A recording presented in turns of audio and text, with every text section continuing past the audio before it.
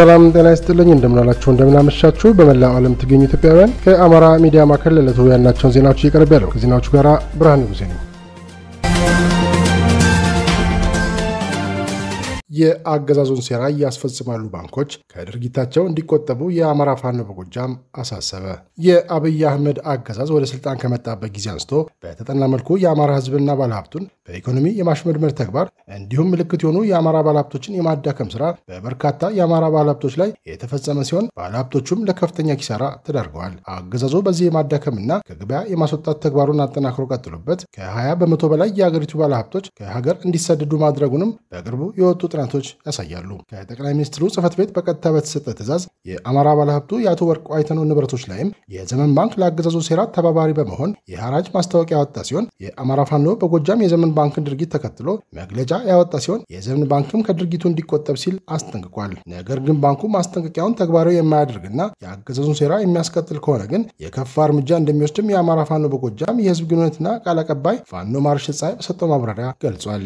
ይሄ አማራን በኢኮኖሚ የማድቀቅ የአማራ አይከን የሆኑ ግለሰቦችን፣ ነጋዴዎችን፣ ምሁራንን በማሸማቀቅ ሀብታቸውን በመዝረፍ አማራን ምልክት አልባ ማድረግ የተለመደ የእነ አብይ አህመድ ፕሮጀክት ነው። ይሄ ፕሮጀክታቸው ሲገፋ ሲገፋ ኖርቋ አይተነውን እና አቶ አበባው ደስታን ከሀገር ከማሰደድ አልፎ ሀብታቸውን የመዝረፍ ጅማሮ ውስጥ ገብቷል። አቶ ወርቁ አይተነው የሚታወቀው ለድሃ ሲረዳ፣ ለተራበ ሲያበላ፣ ለበርካታ ወጣቶች የስራ እድል ሲፈጥር በቁጥር በርከት ያለ በኢትዮጵያ ኢኮኖሚ ውስጥ የማይገመት ገንዘብ ከኪሱ እያወጣ ለድሃ ሲረዳ፣ የታመመ ሲያሳክም ነው የምናውቀው እኛ በበርካታ በጎ አድራጎት ስራዎች ሲገነባ ነው የምናውቀው። ሀገር ሰሪ የሚባል አንድ የአማራ ባለሀብት ነው። ይህም ሰውዬ ከዚህ በፊት የእነ አብይ አህመድ ወንበር እንዲጠበቅ የህልውና ዘመቻ በሚል እነ አብይ አህመድ ጥሪ ሲያደርጉ ነፍሱን ሸጦ ብዙ መቶ ሚሊዮን ገንዘብ አፍሶ ወያኔ ጋር ፊት ለፊት ተጋፍቶ በተለይ በወሎ ግንባር ካርታ እያነበበ ሳይቀር ያዋጋ ጀግና ነው። ዛሬ እነ አብይ አህመድ ከሰሜን ኢትዮጵያ በተለይ ከትግራይ የሚመጣ ወታደራዊ ኃይል የለም ብለው ሲያስቡ የአማራ ባለሀብቶችን በሴራ ጠልፎ ለመጣል የሄዱበት ርቀት አንተም በአንድ ወቅት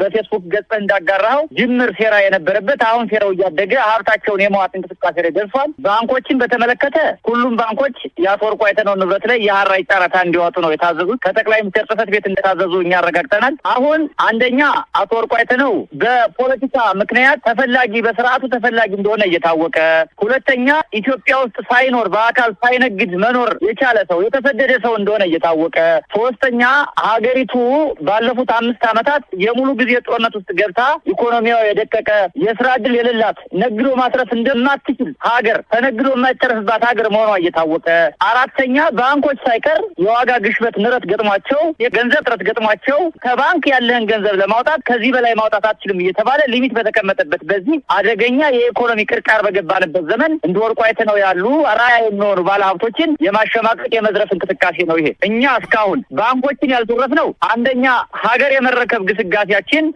በኢትዮጵያውያንና በዓለም አቀፉ ማህበረሰብ ዘንድ አዎንታዊ እይታ እንዲኖረው፣ ሁለተኛ የአማራ ማህበረሰብ ጥልቅ እሴቶችን በማክበርና የፋኖ ትግል በዚህ የተቃኘ በመሆኑ ነው። ሶስተኛው ባንኮች በአንድም በሌላ ምክንያት ከፖለቲካ እጆች ጸድተው የምጣኔ ሀብት ተግባር ላይ የሚሳተፉ ናቸው ብለን ስለምናምን ከዚህ በፊትም አንድም ባንክ የጦርነት ተባባሪ የፖለቲካ ተሳታፊ ሆኖ ባለማግኘታችን ምክንያት፣ ሌላው የፈጠሩት የስራ እድል የሚሰጡት አገልግሎት የሚጫወቱት የኢኮኖሚ ሚና በአብዛኛው ማህበረሰባችን ላይ ግልጽ ነው፣ የሚታይ ነው፣ አስደሳች ነው፣ ተነባቢ እና ቀጣይነት ያለው ተግባራዊ ስራ ስለሚሰሩ ባንኮች በእነዚህ ምክንያት ፋኖ አማራ ክልል ሲንቀሳቀስ የትም ቦታ ሲንቀሳቀስ ባንኮችን መዝረፍ የለበትም ብለን በመተማመን ነው አዛዥና ታዛዥ ሆነን የምንጠብቀው። ነገር ግን የአማራ ህዝብ ምልክት የሆነውን ወርቁ አይተነውን ለመዝረፍ ያለመ ተግባር ላይ ያገኘነውን ባንክ ለምሳሌ ዘመን ባንክ ነው ጨረታ የወጣው። አንደኛ የባንኩ ፕሬዝዳንት አቶ ደረጀ ላይ፣ ሁለተኛ ባንኩ ላይ ፋኖ በቅርንጫፍ ያለውን ጥሬ ገንዘብ በማውጣት ይጠቀማል። የአቶ ወርቁ አይተነው ንብረት በሀራጅ ጨረታ ተሸጠ ማለት አማራ ክልል ውስጥ ባህር ዳር፣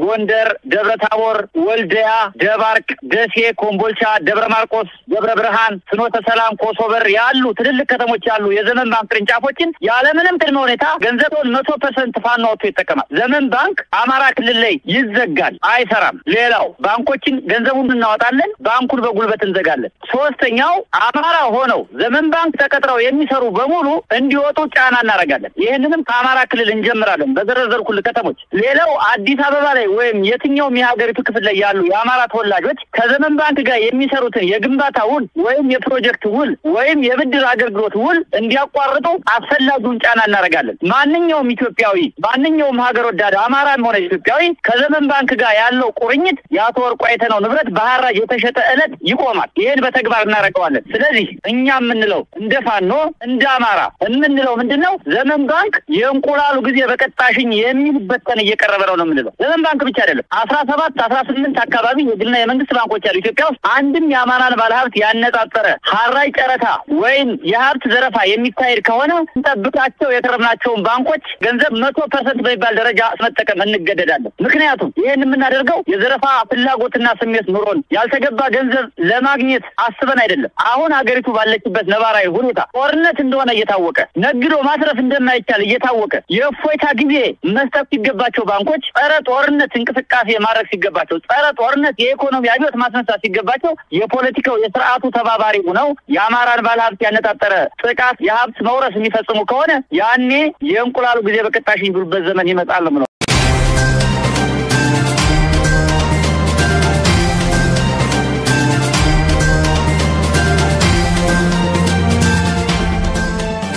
የአቶ በቴ ኦርጌሳን ግድያን ገለልተኛ ዓለም አቀፍ አካል ምርመራ እንዲያደርግ አሜሪካ ጠየቀች። የአሜሪካ ሴኔት የውጭ ጉዳዮች ኮሚቴ ሚያዝያ 2 2016 ዓ ም ባወጣው መግለጫ ተአማኒ ገለልተኛ ዓለም አቀፍ አካል የአቶ በቴ ኦርጌሳ ሞት ላይ ጥልቅ ምርመራ እንዲደረግ ጥሪ አቅርባለች።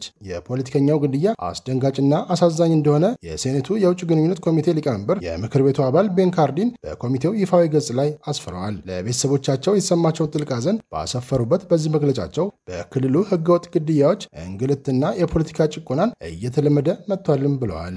የአብይ አህመድ አገዛዝ በኦሮሚያ ክልል ውስጥ ብቻ ሳይሆን በመላው የኢትዮጵያ ፖለቲካ ተቃዋሚዎች፣ ሚዲያዎችና ተቺዎች ላይ ጭቆና እየፈጸመ ነው ሲሉም የወቀሱና ይህም ሁኔታ ለመላው ሀገሪቱ መጠነ ሰፊ የጸጥታ ችግርና አጠቃላይ አለመረጋጋት አስተዋጽኦ አድርጓል ብለዋል። የኢትዮጵያ ሰብአዊ መብቶች ኮሚሽን ዋና ኮሚሽነር ዶክተር ዳንኤል በቀለ በፖለቲከኛው ግድያ ዙሪያ ነፃና ገለልተኛ ምርመራ እንዲደረግም ጥሪ አቅርበዋል። የአሜሪካ የአፍሪካ ጉዳዮች ቢሮ ረቡዕ ሚያዝያ 2 2016 ዓ ም ባወጣው መግለጫም የኢትዮጵያ ሰብአዊ መብቶች ኮሚሽን ያቀረበውን ጥያቄ በመድገም ሙሉ ምርመራ እንዲደረግም ጥሪ አቅርቧል።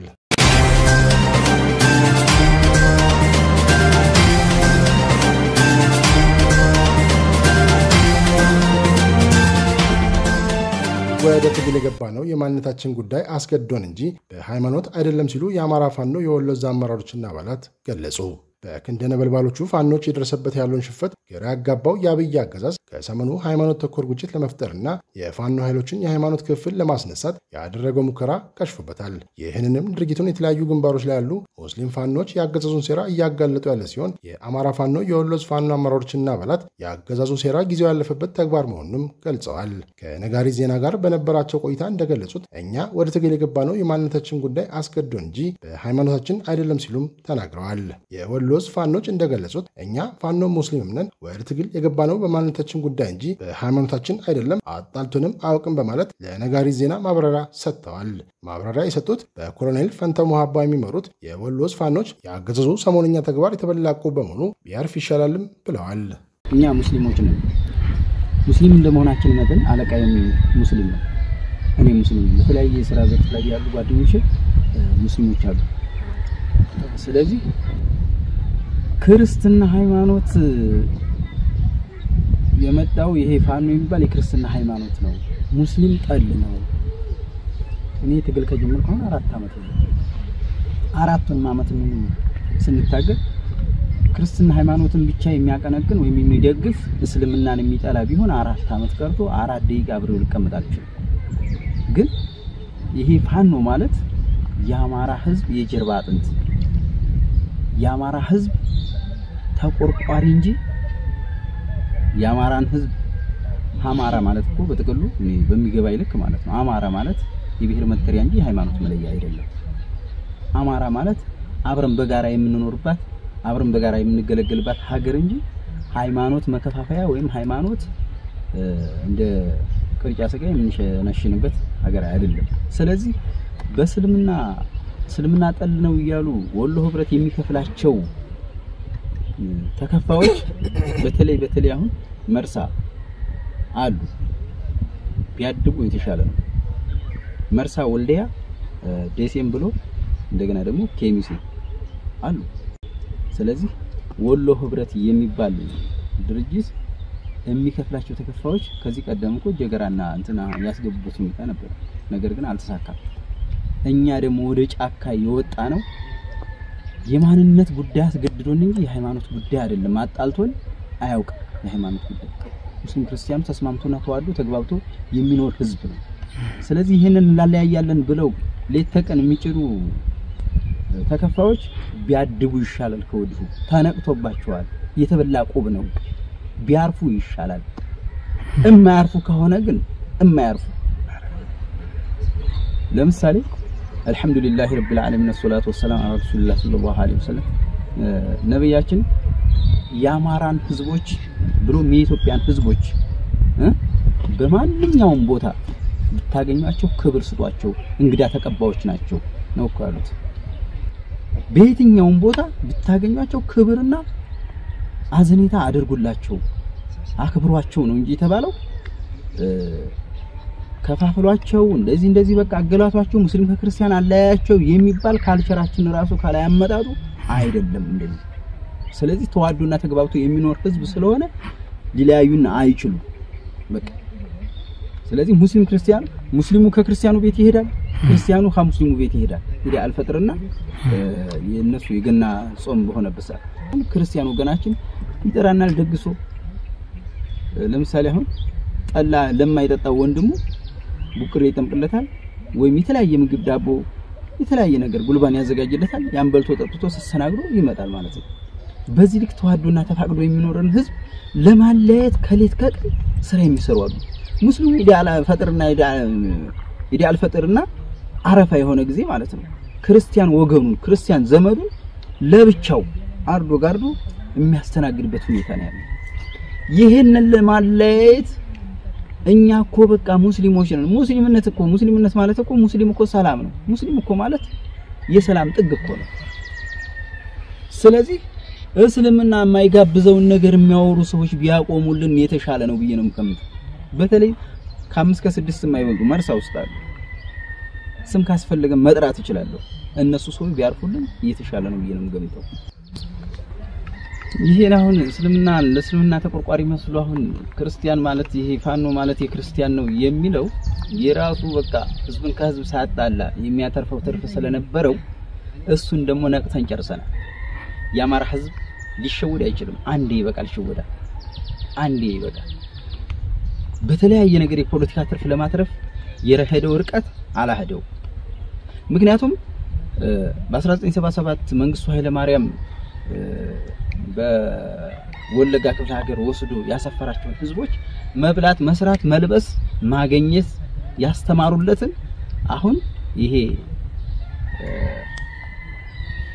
ቀጣፊው መንግስት ማለት ነው። ቀጣፊው መንግስት ተብየው ማለት ነው።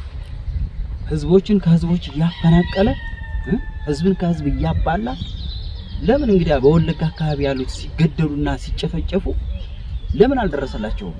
ለኦነግ ሸኔ እንዲገድላቸው እንዴት ፈቀደ? እንዴት ፈቀደ? ለምሳሌ እኮ አሁን እንውሰድ። ደብረ ብርሃን እኮ 95 ሺህ ህዝብ እኮ አለ። ጃሪ እኮ 50 ሺህ ህዝብ አለ። እዚህ መጠለያ ቤት እኮ የመስራት የሚወግ ነው እኮ ቱርክ ከማሰው ጎዶ ውስጥ እኮ ነው ያስቀመጣቸው። ይሄን እኮ በቃ እኔም እንጃ ሰብአዊ መብት ተሟጋች እኮ ያንን ሂዶ ማየት እኮ ይችላል እኮ ያን ቦታ እንዴት የሰው ልጅ ከጎዶ ይቀመጣል? ከዛም አፈናቅሏቸው ከዚህም አፈናቅሏቸው። በባለፈው እኮ በፍጥነት ወደ ሀገራችሁ ግቡ ይግቡ ነው ያለው። ይሄ ማነው ስሙ የኦሮሞ መንግስት ማነው ስሙ ሽመልስ አብዲሳ የተረፉትን ለመጨረስ ማለት ነው። የተረፉትን ለመጨረስ ቶሎ ይግቡ ነው ያለው። ስለዚህ 50 ሺህ ህዝብ ደግሞ በተጨማሪ ጃራ ላይ አለ። 500 ምናምን ህዝብ መርሳ ላይ አለ። ወልዲያሽ 500 ህዝብ አለ። ይሄ ከወለጋ ተፈናቅሎ የመጣ።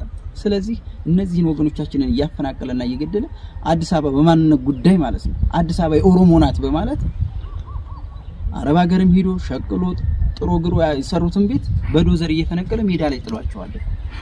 እነዚህን ህዝቦች እነዚህን ህዝቦች በአማራነታቸው። ስለዚህ መንግስት አሁን መንግስት ተብየው እየሰራቸው ያላቸው እየሰራው ያለው ስርዓት ምንም ምንም ምንም ምንም ነገር የማያዳግም የኛን እርምጃ ወደ ኋላ ሊቀንስብን የማይችል በቃ በአፋጣኝ እኛም እርምጃችንን የምንወስድበት ስለሆነ ምንም ነገር ወደ ኋላ የሚያደርገን ነገር የለም። እንደው እውነት እውነት እውነት እንደው አማራ የሆነ ሰው አማራ የሆነ ሰው ይህንን ሰውዬ ለማገዝ ደፋ ቀና አይለም አይልም። ህሊና ያለው ሰው በዚህ ልክ ነው መናገር የምፈልገው።